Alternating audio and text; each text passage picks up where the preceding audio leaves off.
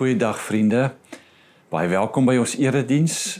Dit is die tweede Lydensweek wat ons in die voetspore van Christus loop op pad na Goeie Vrydag toe. Dit is ook vandag die eerste Sondag wat ons in die kerkgebou bymekaar kan kom.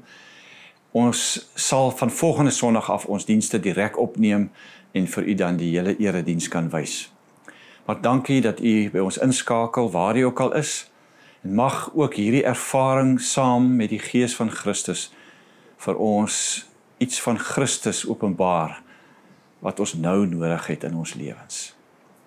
Daarom groet ek u graag in die naam van die Vader en die Seun en die Heilige Gees. Mag sy genade vandag ook met ons wees. Ons lees uh, uit Filippense 2 gaan ons die eerste 11 verse saam lees. Uh kom ons begin by uh vers 1. Maar voordat ons lees, kom ons vra die Here se leiding dat hy vir ons deur sy woord ook sal seën. Dankie Here Jesus dat ons eeue nadat u geleef het weer u kan volg op u lydensweg. Dat ons weer kan leer wat die implikasies is van dit wat u kom doen het dat ons in hierdie moderne tyd waarin ons lewe steeds mag ervaar dat u offer en u bereidheid om u self prys te gee nou vir ons betekenis het. Maar u Gees moet ons help om om dit in te sien en te kan toepas op die uitdagings van ons lewe vandag.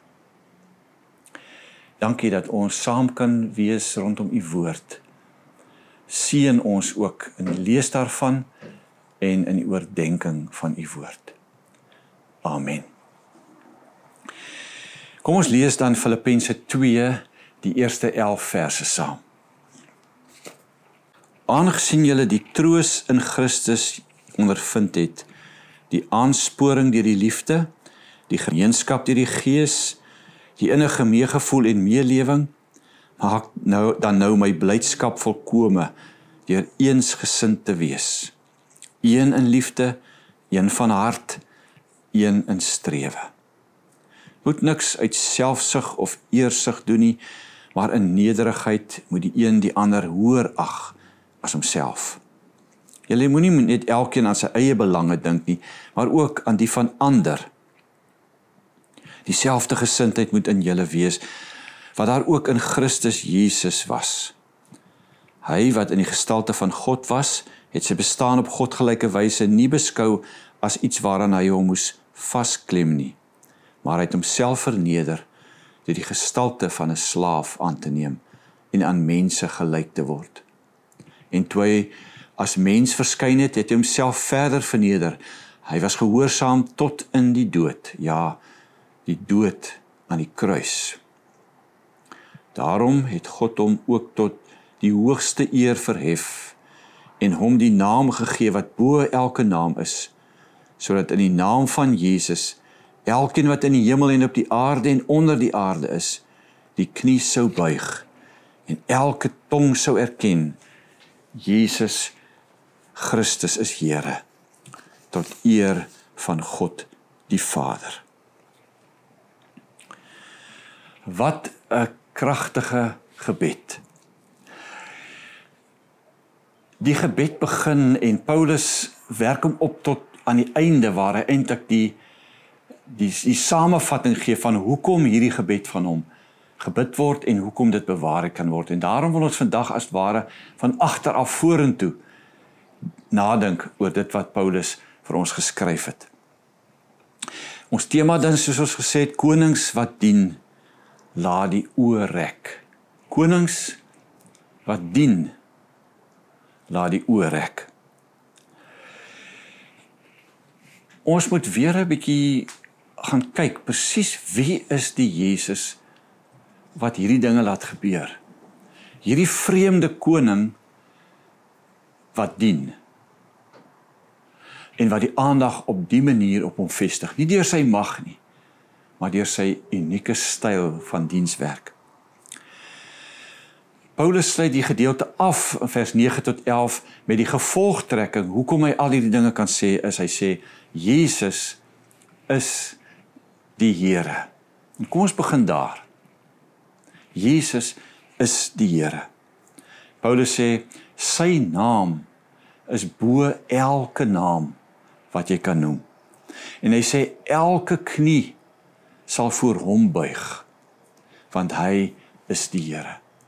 En as ons hierdie vertrekpunt neem, ook in vandag se tyd waarin ons lewe, is dit nog steeds waar. Elke knie sal buig voor hom. Want hy is vandag nog die Here. Dit is 'n kragtige belydenis en dis iets wat ons as ware opnuut moet glo en aanvaar en raak sien en bely. Die Jesus wat ons aanbid is nie sommer maar net 'n leier nie. Hy's die koning. Hy's die Here. Dit is ons vertrekpunt wanneer ons praat oor konings. Maar hierdie koning is uniek in die manier wat waarop hy koning is en dit is ons tweede gedagte. In vers 5 van uh, Filippense 2 lees ons dieselfde gesindheid moet in julle wees wat daar ook in Christus Jesus was. Dit is 'n uh, mondvol.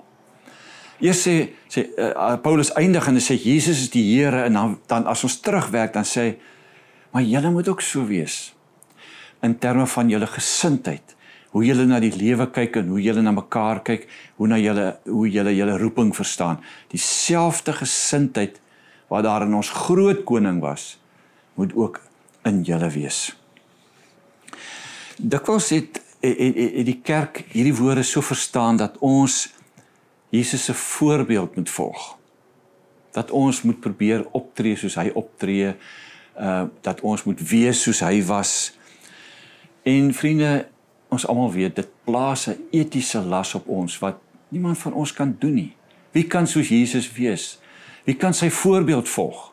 Ons kan nie naaste by sy voetspore vol staan nie. Daarom het die vertalers weer gaan kyk na hierdie hierdie sinnetjie wat Paulus skryf en daar kom genadiglik 'n 'n ander klem na vore as ons gaan kyk na die oorspronklike bedoeling. Pas van om te sê julle moet sy voorbeeld volg, staan daar eintlik bedink dit in julle wat ook in Christus Jesus was. Dit maak 'n verskil. Dit beteken dat dit wat Christus Jesus was hy in ons na vore bring. Dis nie ons wat sy voorbeeld moet volg nie. Dis hy wat deur ons beginne lewe as ons hom volg. Dis 'n reuse verskil en is geweldig bemoedigend as hy sê bedink dit wat julle in Christus Jesus is. Die woord fronete is om so gesind te wees om so ingestel te hê in julle soos Christus was. Dis 'n dis 'n dis 'n denkskuif wat ons vir onsself moet sê, nou dat ek in Christus Jesus is, kan ek anders na die lewe kyk. Kan ek anders na my gawes kyk? Kan ek anders na die kerk kyk? Want ek leer Jesus se styl. Ek bedink dit en dit bring dat ek anders kyk na my roeping. Daarom die nuwe eksegete vertaal het bedink onder julle die dinge wat hoort by julle in Christus situasie. Ons is in Christus. Ons moet dit net besef. Ons moet dit vier. Ons moet ons daaroor verbly. Ons is nie meer ons ou self nie. Ons is nie aan onsself oorgelewe nie. Ons is in Christus. Dis die belofte van die evangelie.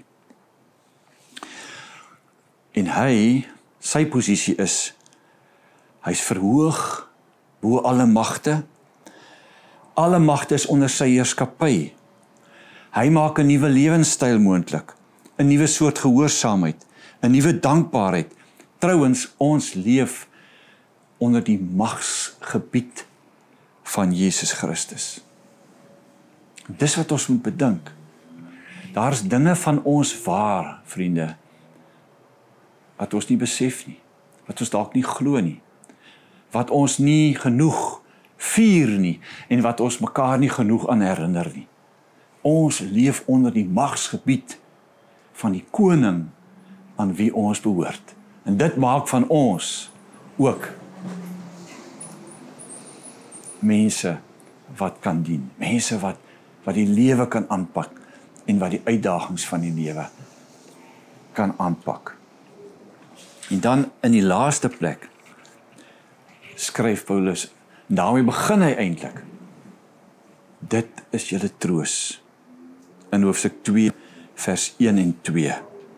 Aangesien julle die troos in Christus ondervind het, die aansporing deur die liefde, die gemeenskap deur die Gees, die innige meegevoel en meelewing, maak dan my blydskap volkome deur eensgesind te wees. Aangesien julle die troos in Christus ondervind het, die aansporing deur die liefde, die gemeenskap deur die Gees, die innige meegevoel en meelewing. Daarom kan julle Christene wees omdat iets met ons gebeur het, omdat ons iets gesnap het van wie Christus is en dit ook in ons lewe oorgedra is, maak dit mos 'n verskil aan hoe ons lewe. Die eerste ding wat met ons gebeur as ons dit besef is dat dit my vry maak van myself. My vertroue in my eie vermoëns, my beheptheid met my ego, my gawes en wie ek is, ek besef ek is 'n dienskneg. Ek is 'n gestuurde. Ek is liefgehad deur Christus. Ek het 'n ander roeping. Alles wat ek op aarde doen, staan eintlik in diens van wat ek in Christus is. Ek is sy dienskneg. Nie in die eerste plek die vervuller van my eie drome en ideale nie. Paulus skryf daar, die eerste ding wat gebeur, Ek word bevry van my selfsug en my eersug. Dis tog 'n groot ding as dit met ons gebeur. My identiteit en my aansien en my selfbeeld is nie meer afhanklik van my posisie nie. Wat mense van my dink nie. My diepste identiteit is nou geleë in wie ek in Christus is, dat ek liefgehê word, dat ek vrygespreek is, dat ek in sy diens is. Dis wie ek is. En dink net die die invloed wat dit nou het op my werk en op my verhoudings en my ambisies en my beeld na buitentoe. Ek is in diens van die koning. Gaan nie meer oor my nie. Dis 'n bevryding. Ek hoef niks meer te bewys nie. Die tweede wat gebeur skryf hy nou kan ek ander hoër ag as myself. Voorheen sou dit nie moontlik gewees het. Jy kan nie 'n ander mens hoër ag as jouself nie want dan voel jy minderwaardig, jy voel bedreig. Uh mense is in kompetisie. Die hele samelewing is gebou op hierdie ding van wie's wenners. Maar as my identiteit in Christus lê, my roeping lê in hom en ek besef ek leef met sy mandaat. Is niemand meer vir my bedreiging nie. Ek kan ander mense hoër ag as myself. Want ek is hier om 'n rol te vervul, om 'n roeping uit te leef. En mede-Christene word my broers en susters. Mense wat ongered is wat my bedreig, word my bedieningsveld. Mense wat ek kan lief hê en wat ek kan blootstel en voorstel aan die Christus waar my identiteit vandaan kom. En ek dink mense kom dit agter. Hulle kan gou sien wat dryf my? Waar lê my identiteit? Waar lê my diepste roeping? Ek kan ander hoor ag as myself, skryf Paulus. En hy sê die derde ding, daarom moet julle net julle eie belange dien nie, maar ook die van ander. Jogg, die wêreld daar buite verstaan nie dit nie. Om ander se belange hoër as my eie te stel.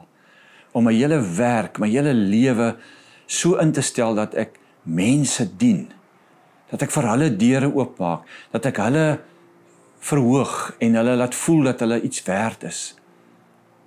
Dit kan net van God afkom. Dat my hele lewe ingestel is om die waarde van mense te ontsluit. Om mense geleenthede in die lewe te gee, om hulle te laat voel dat hulle iets werd is. Dat hulle liefgehê word. Dat hulle 'n hoër doel in die lewe het. Dis waaroor Christendom gaan. Om mense 'n kans te gee in die lewe. En hoeveel mense is daar nie wat oor ons lewenspad kom wat net 'n kans nodig het. Iemand wat hulle nie wil gebruik nie wat nie op hulle neersien nie, maar die geleenthede in hulle lewe raak sien. Dis wat ons roeping is. En dis waar wat Paulus beskryf as hy sê ons moet nie net ons eie belange dien nie, maar ook die van ander. Martin Luther het gesê 'n Christen se taak is dat ons vir mekaar 'n Christus kan wees, 'n dienskneg, iemand wat die lewe oopsluit. Augustinus het vir God gebid en gesê Here, gee wat U vra en vra dan net wat U wil.